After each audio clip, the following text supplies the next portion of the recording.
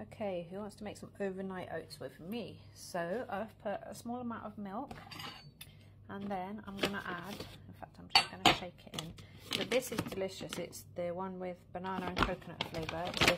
It's so good. I'm going to add a small amount of that one. And then this one is the berry buzz, which helps your immune system. These are from Holland and Barrett. I'm assuming, well, you can get them like on Amazon and things as well. So I don't measure these, probably you should, but I just like to add them because I know by sight how much. These are mulled chia seeds. These are really good for digestion. They're just like a really healthy kind of superfood. So I'm going to add in a little scoop of those, probably about half of that actually, because I also want to add this fruity linseed mix. It's got sesame seeds, blueberries, raspberries. You can use these in cakes, on baking, I like to put them in my overnight oats.